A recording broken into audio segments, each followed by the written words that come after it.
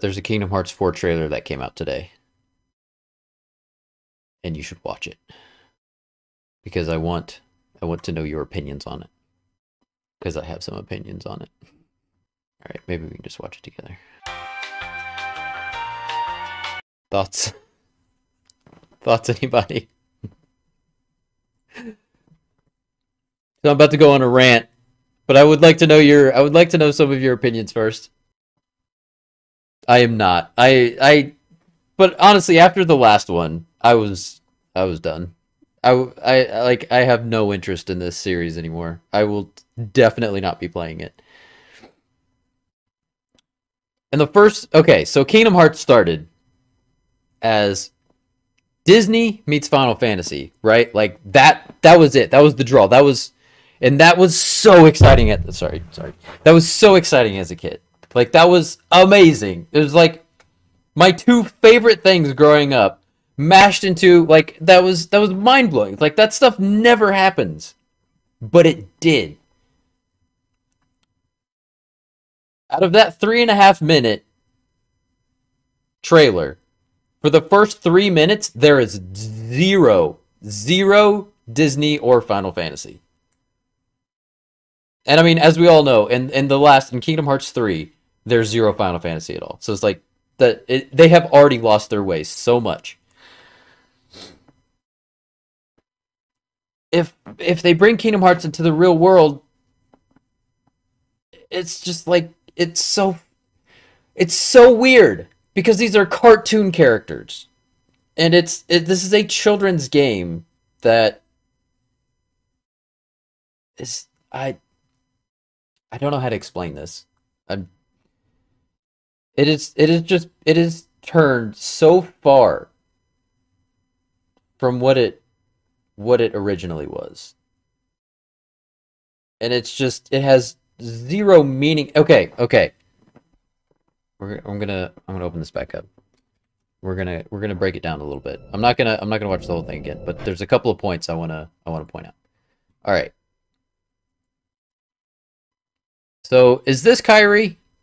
I don't know. You can see you can't even tell because like she's a freaking cartoon character that they made real, and like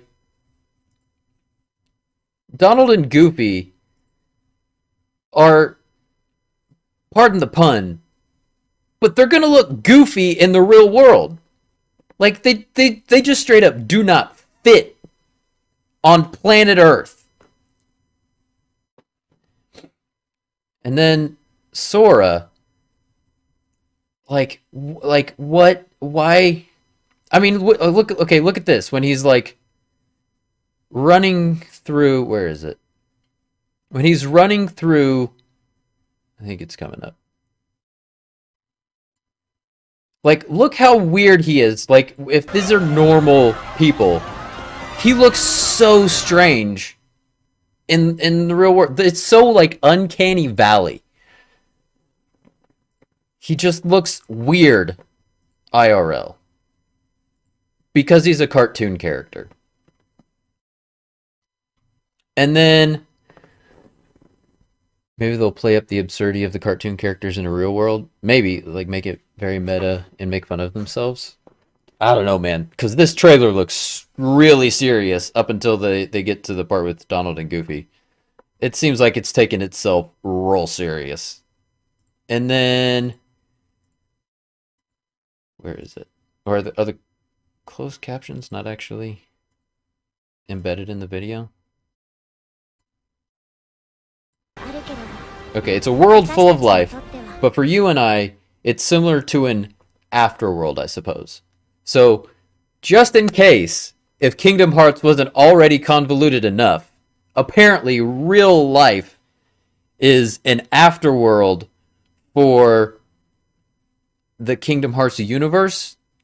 Just just to add another layer of fuckery to this entire Kingdom Hearts I don't even call it a universe anymore. It's a multiverse. Like it's just and I hate that this video, I hate that this trailer upsets me so much because like I said, I'm done with Kingdom Hearts.